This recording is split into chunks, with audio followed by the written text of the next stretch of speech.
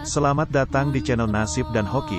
Semoga hari ini membawa keselamatan dan kelimpahan rezeki bagi Anda. Amin.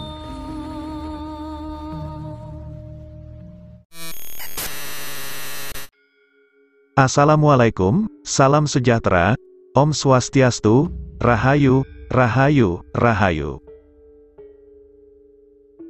Video Nasib dan Hoki pada kesempatan kali ini, akan membahas mengenai keistimewaan orang yang suka memberi makan kucing, terutama dalam hal ini adalah kucing liar.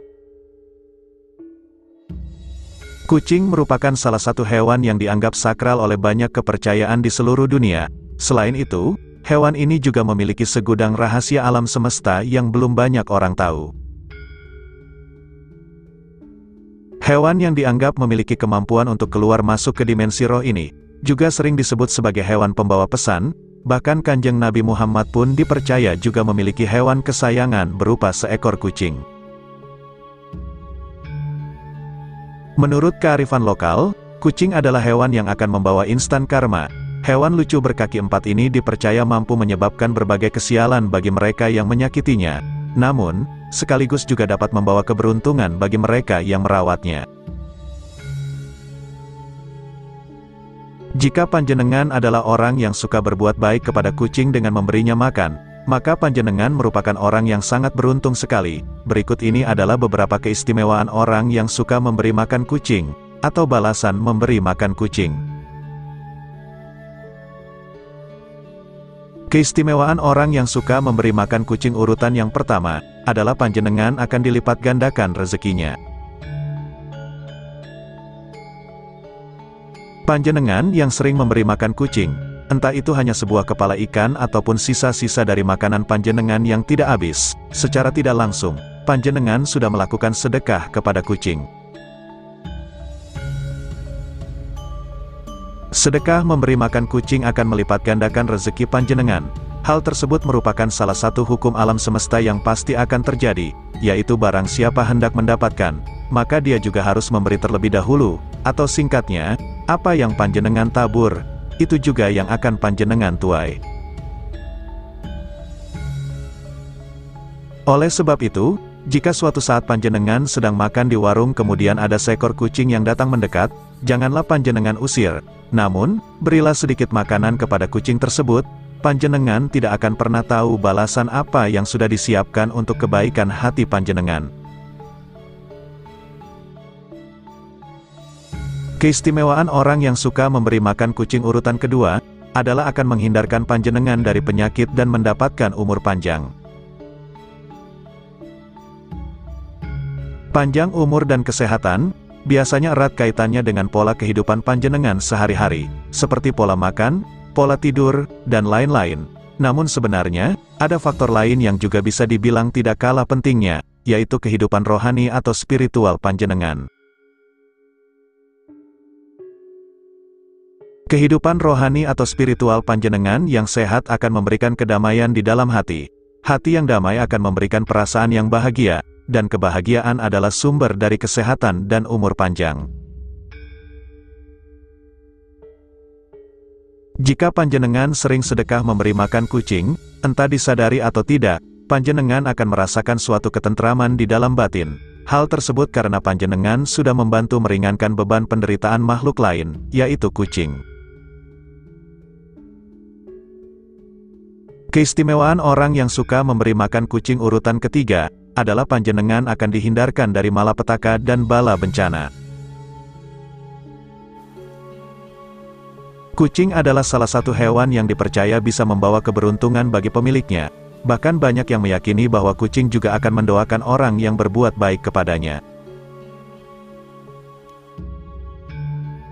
Jika panjenengan termasuk orang yang suka memberi makan kucing, maka kucing tersebut akan berterima kasih dengan memujikan panjenengan agar selalu diberi keselamatan, baik itu keselamatan dalam hal mencari rezeki, ataupun juga dalam hal lainnya, termasuk dihindarkan dari berbagai kesialan dan bencana. Bagi panjenengan yang gemar menebar kebaikan di alam semesta ini, maka yang akan datang kepada panjenengan juga adalah kebaikan, jalan hidup panjenengan akan jauh dari yang namanya kesialan dan ketidakberuntungan, namun jika panjenengan belum merasakan hal ini, bisa saja kebaikan tersebut akan datang kepada anak turun panjenengan. Keistimewaan orang yang suka memberi makan kucing urutan keempat, adalah panjenengan memiliki hati yang ikhlas.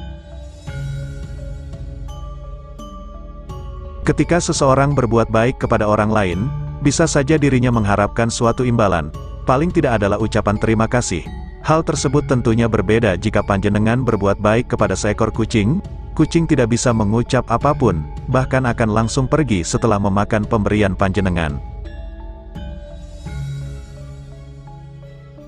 Ketika panjenengan terbiasa ikhlas dalam melakukan suatu kebaikan sekecil apa pun, di mana dalam hal ini adalah memberi makan seekor kucing, maka panjenengan akan menjadi orang yang mudah bersyukur, dan selain itu, keutamaan dari ikhlas adalah bisa mendatangkan pahala dari Tuhan Yang Maha Kuasa.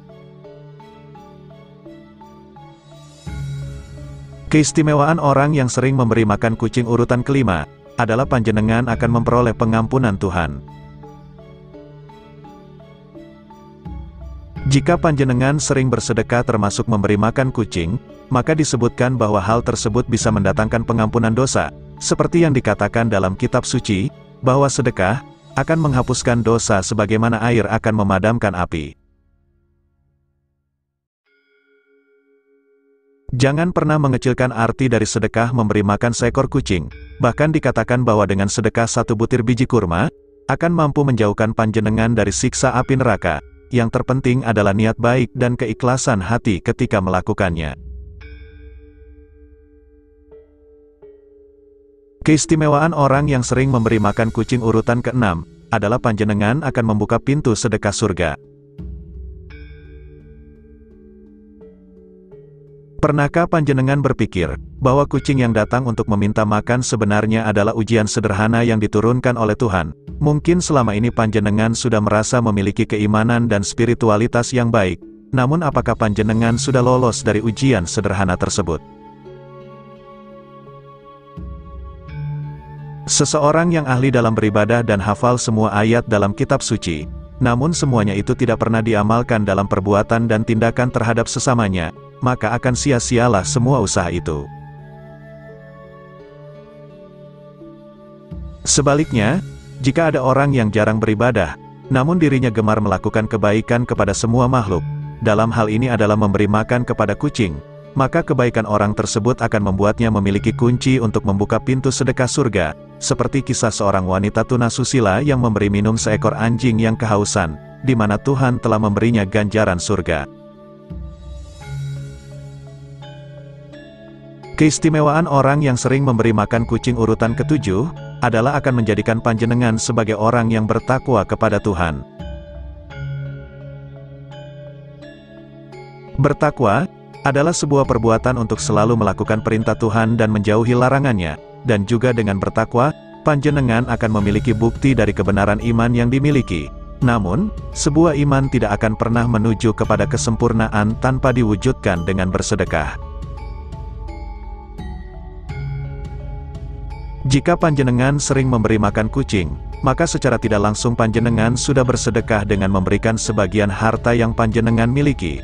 Dan jika semua itu dilakukan dengan keikhlasan dan niat yang baik, maka panjenengan akan menuju kepada seorang yang memiliki takwa dan iman kepada Tuhan. Keistimewaan orang yang suka memberi makan kucing urutan ke-8, adalah panjenengan akan disayang oleh para penghuni langit atau malaikat.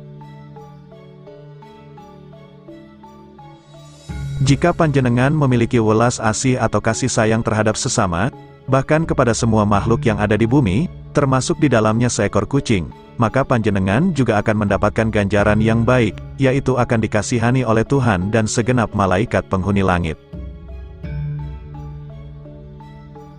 Perbuatan baik panjenengan dengan memberi makan seekor kucing, juga dikatakan akan menjadi timbangan amal kebaikan kelak. Selain itu, juga akan menjauhkan panjenengan dari sifat kikir dan serakah, bahkan justru akan membuat harta panjenengan menjadi lebih berkah. Itulah tadi video mengenai 8 keistimewaan orang yang suka memberi makan kucing. Semoga bisa menjadi wawasan tambahan dan membawa manfaat bagi panjenengan semuanya. Sebagai penutup, admin doakan panjenengan sekeluarga agar selalu mendapat kelancaran serta keberkahan dalam mencari nafkah dan rezeki. Amin.